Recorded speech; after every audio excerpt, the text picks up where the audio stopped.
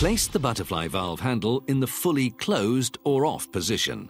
Place the lockout device over the back of the lever handle in the direction shown, as close as possible to the notched actuator plate. With the shaft of the locking device over the center of the handle, turn the knob clockwise to clamp the pressure plate securely to the handle. Test the handle to ensure that it will not become disengaged from the notched actuator plate. Finally, place the padlock through the locking hole to secure the locked position. This device is offered in two sizes to accommodate valve handle thicknesses up to 4 inches.